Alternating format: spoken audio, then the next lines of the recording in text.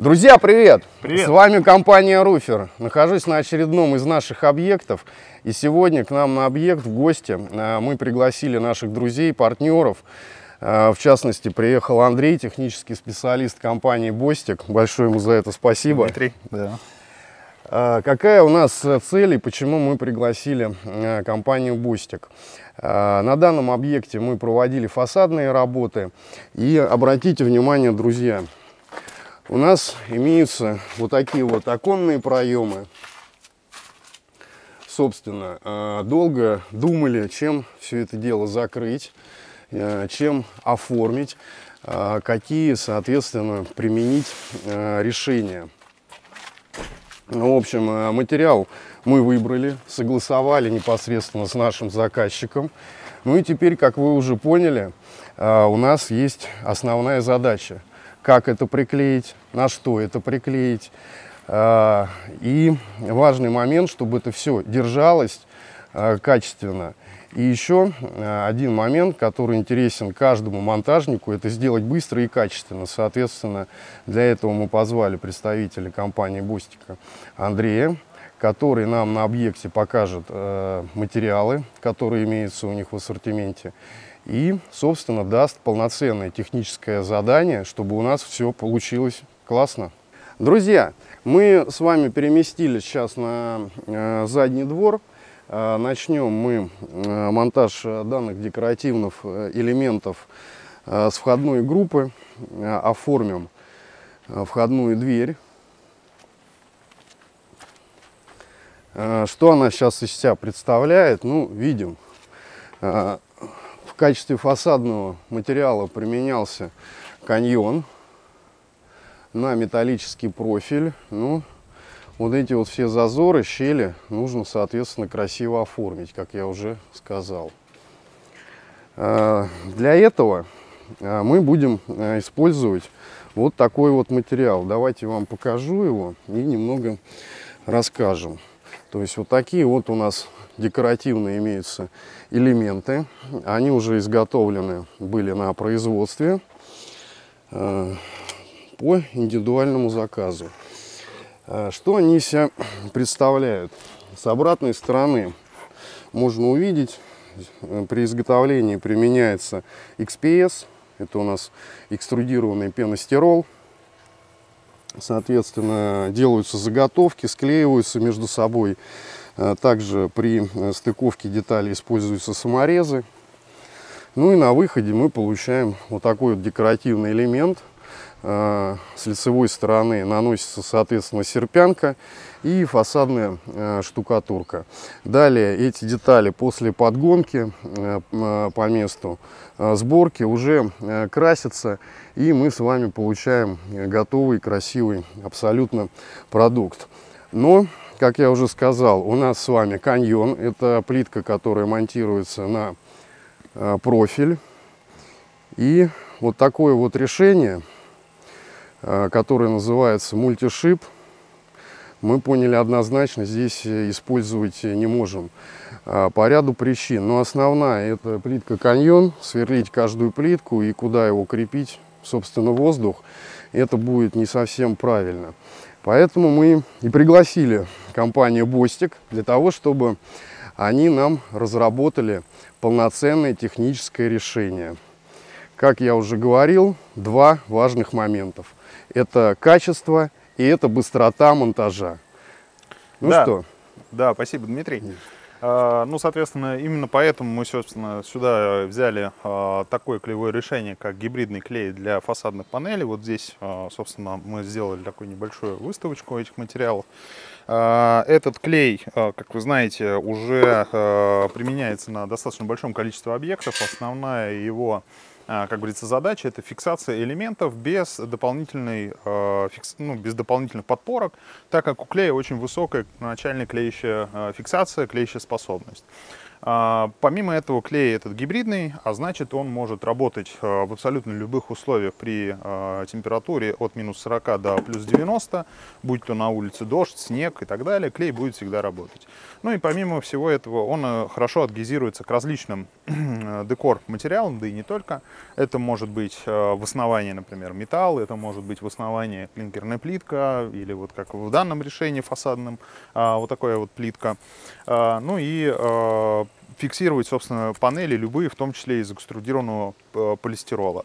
Для того, чтобы, ну, скажем так, снять все возможные вопросы, а насколько будет легко монтировать а, такого рода а, панели, мы с собой вот заготовили такой небольшой скажем так, а, элементик, который мы хотим продемонстрировать. Это сам по себе срез а, экструдированного полистирола, да, вот э, с э, нанесенной вот этой серпянкой и а, фасадной штукатуркой под покраску. А, ну и, собственно, взяли вот такой вот элемент. Это обычная тротуарная плитка. Она достаточно тяжелая, увесистая. Собственно, вы понимаете, что этот элемент весит очень мало, этот элемент весит очень много. Вот хотел вам продемонстрировать способность работы, собственно, клея. Мы выполнили минимальную подготовку. В данном случае мы использовали клинер наш нейтральный. Для чего мы использовали этот продукт? Э, дело все в том, что на поверхности экструдированного полистирола имеются, а, ну, скажем так, гидрофобные а, поверхности, гидрофобные материалы, вещества, которые могут затруднять процесс адгезии. Ну и чтобы избежать этого, есть несколько выходов. Первый из них, самый простейший, скажем так, с минимальными вложениями, это шлифовка. А, его тоже можно применять по экструдированному полистиролу, это не проблема, но это достаточно трудоемкий процесс, особенно если мы говорим о широкоформатных элементах.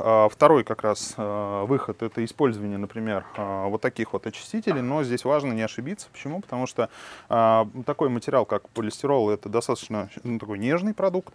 Ну и, соответственно, если мы используем здесь какой-то растворитель, например, ацетон, а, это может привести к тому, что сам по себе элемент деформируется. Наш очиститель не деформирует, собственно, такого рода поверхности и подготавливает их для хорошей адгезии последующих слоев.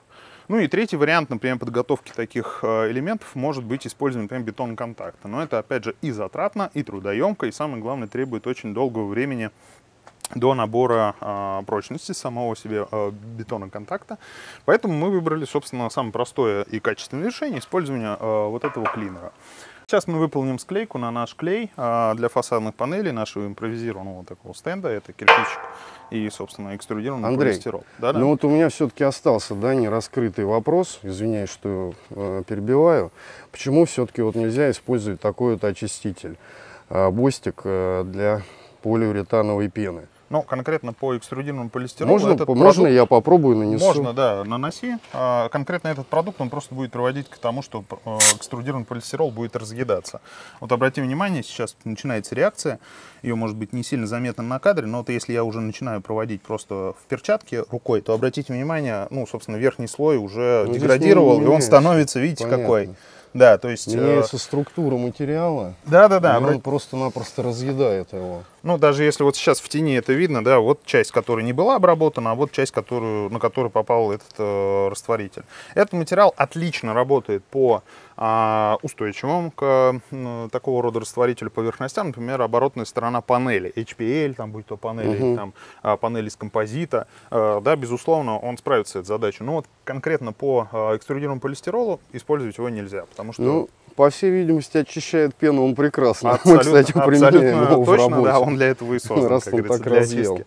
Ну и, коль уж мы попробовали а, этот очиститель, давайте уж тогда нашим, а, как говорится, слушателям ну, да, и... и зрителям продемонстрируем, как работает наш очиститель. А, Поймем не... разницу, так сказать. Нейтральный, да.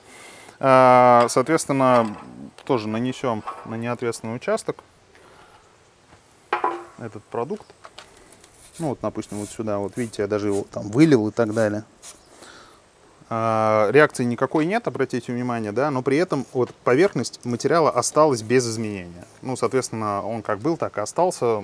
Да, соответственно, этот продукт как раз и предназначен для очистки, ну, такой щадящей.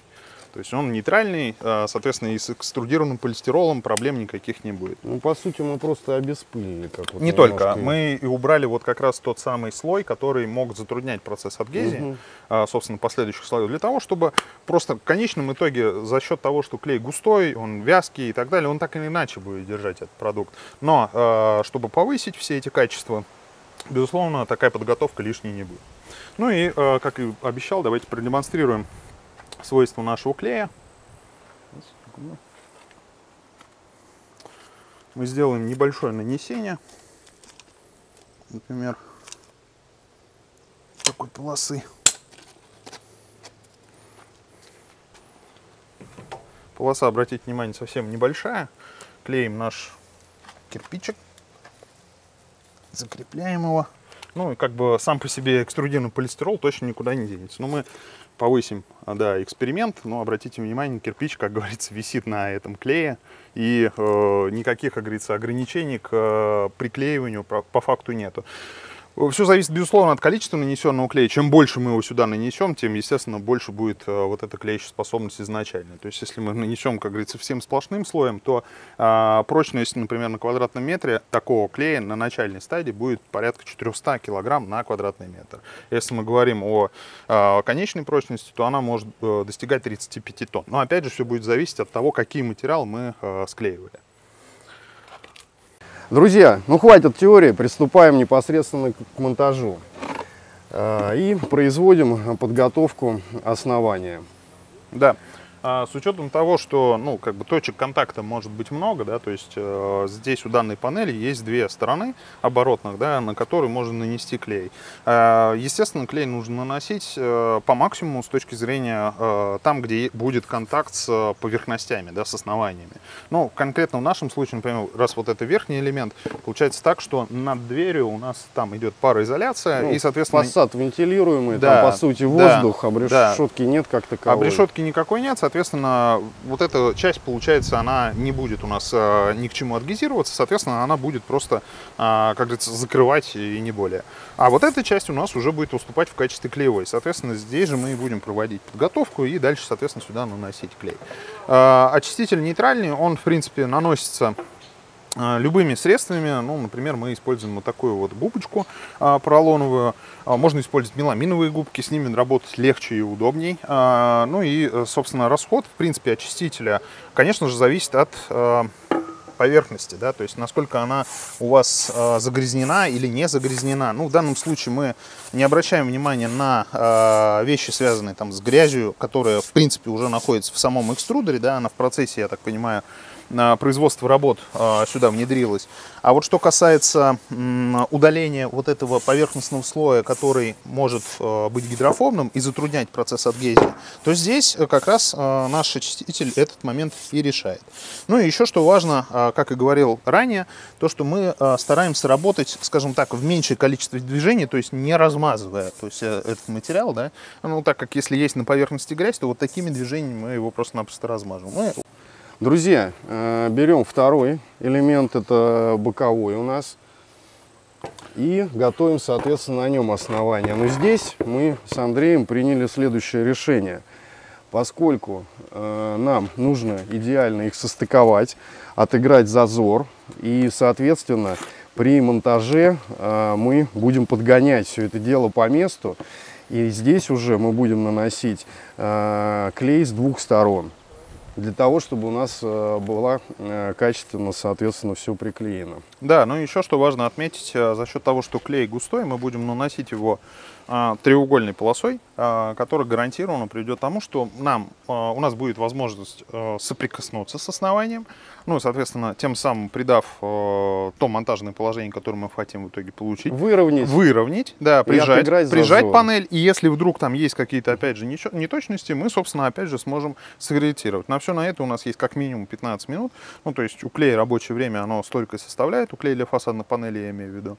Э, ну и, соответственно, у нас этого будет вполне достаточно за счет того, что элементы, в принципе, широкоформатные, мы сразу же будем закрывать достаточно большую площадь.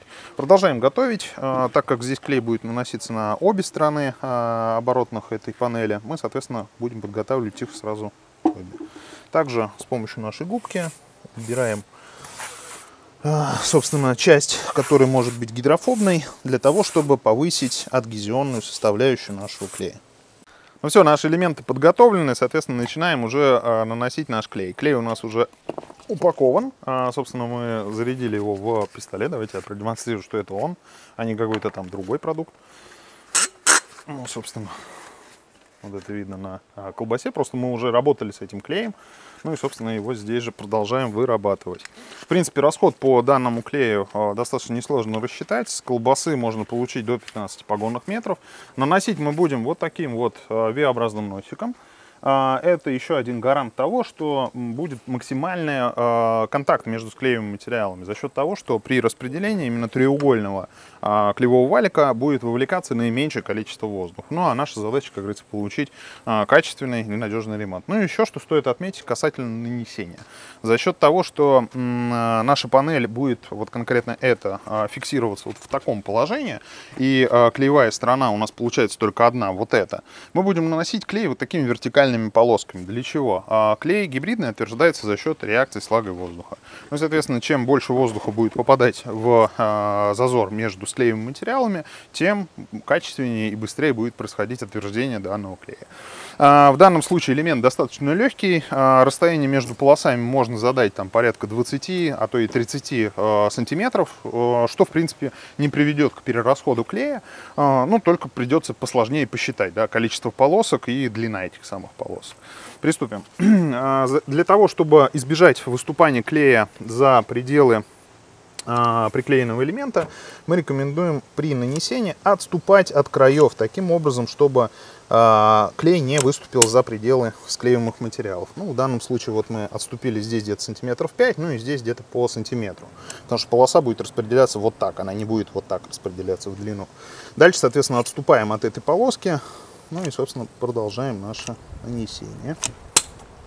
Андрей, а какой шаг э, должен быть нанесения, чтобы все это... Ну, как я и сказал, все зависит от веса. Если мы говорим о, о тяжелых элементах, э, вес которых, ну, приличный, да, например, мы говорим о фиброцементных панелях, то там все будет зависеть от шага обрешетки, если угу. мы клеим на, а, собственно, вентилируемый фасад. Если мы просто приклеиваем декоративную панель, например, к основанию, к монолитному основанию, и панель, ну, действительно тяжелая, то минимальный шаг, который мы рекомендуем задавать, ну, порядка 10 сантиметров. 10. Но все упирается в вес э, и формат элемента, да, то есть в данном случае вес ну, небольшой. Ну, элемент абсолютно легкий. Да, да но... поэтому мы задаем шаг достаточно такой значимый, можно, в принципе, и больше задать. Но у нас и неровное основание, на самом да, деле. И потому это... что кирпич, он э, такой вот э, клинкер у нас здесь использован на металлический фасад. Он абсолютно повторяет форму клинкера. И э, каждый кирпичик, он имеет свою форму.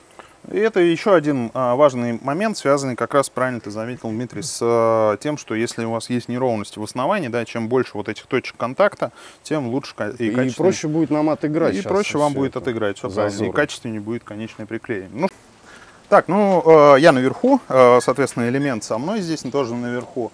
Как мы видим, наше основание, которое будет в конечном счете э, фиксироваться этот элемент. Что важно отметить? А, за счет того, что клей густой, за счет того, что клеящая способность у этого клея очень высокая, а, в принципе, поддержки никакой не требуется. Соответственно, я один вполне себе а, могу приклеить этот фасадный элемент. За счет того, что он у нас уже подогнан, подрезан и так далее, мы, собственно, просто устанавливаем его на наше монтажное положение. И фиксируем к основанию.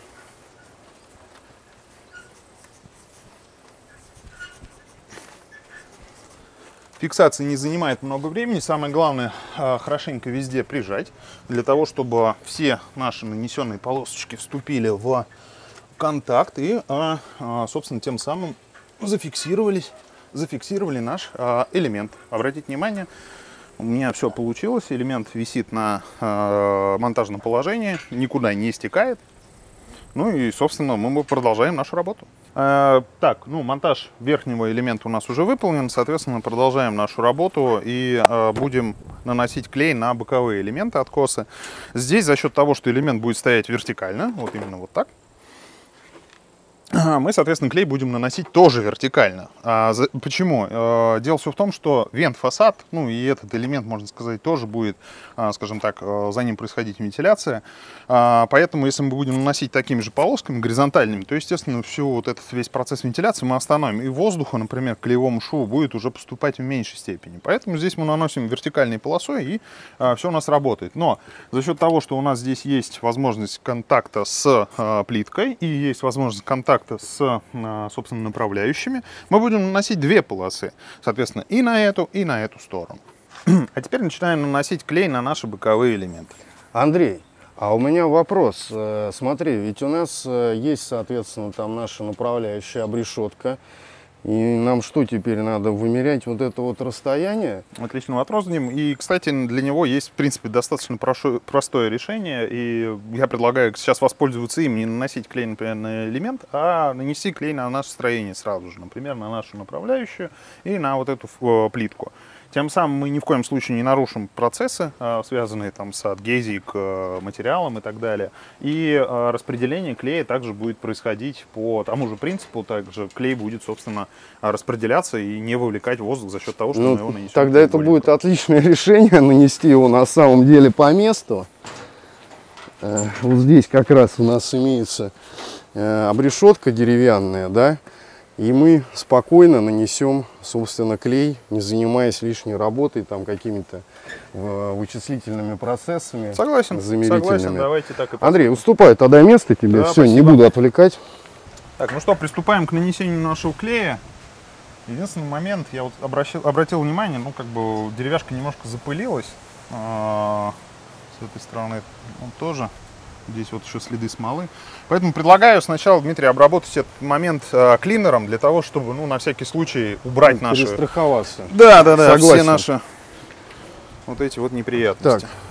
Э, да, будем работать тем же клинером, собственно, Бости клинер, потому что он универсальный, работает по любым поверхностям и нейтральный. Самое главное, ничего у нас не окисляет.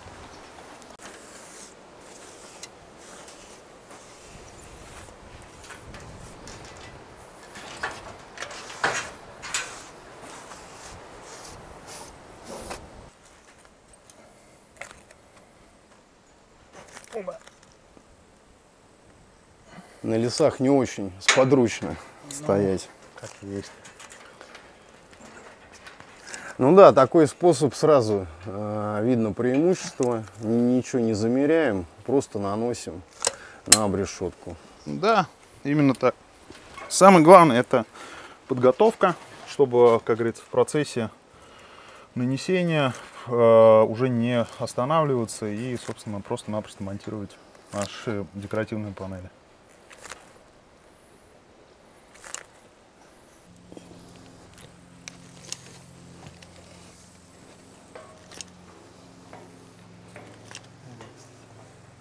Ну вот мы нанесли клей, э, потратили на это ну, от силы минут 7-8.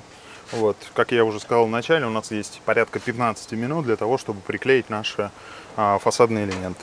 Дмитрий, прошу тебя помочь подать элемент. Сейчас.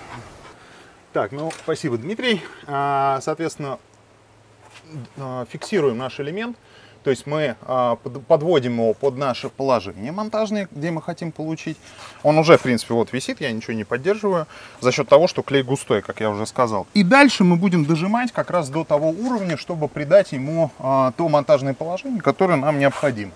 Для этого, конечно же, если а, элементы большие, вам потребуются, безусловно, леса, ну, чтобы, как говорится, залезть и посмотреть, где там у нас ровно, где неровно чтобы, как говорится, в конечном итоге получить тот эффект, который вы хотите. И опять же, обратите внимание, я, как говорится, никого не прошу поддерживать, то есть лазю один, а за счет того, что клей удерживает мой элемент и не дает ему никуда сползать, стекать и так далее.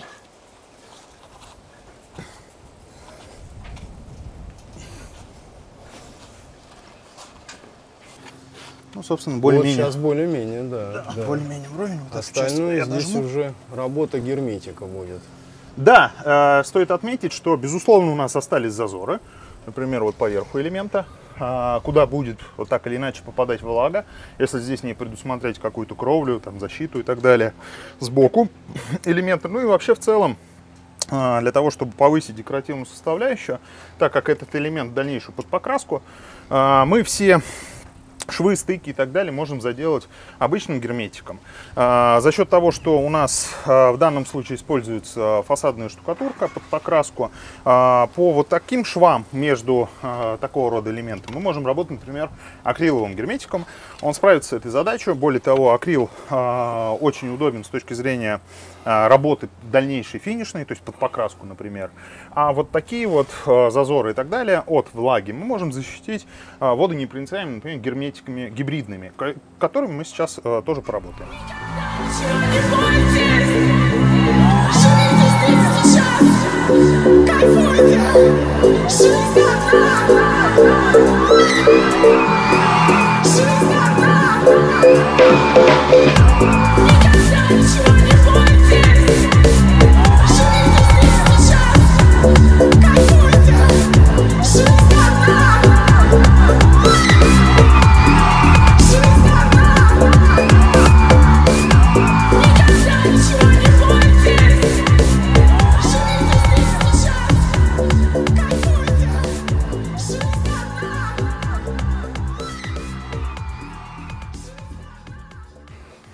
Ну что ж, друзья, вот такую мы большую сегодня работу провели совместно с Андреем, да. На самом деле это шутка, но э, клей, как видите, очень хорошо работает. Э, у нас плитка до сих пор не оторвалась, все, как говорится, хорошо и, и позитивно. А, Вот. Хотим подвести э, небольшой итог э, по факту выполненных э, как бы работ. Да.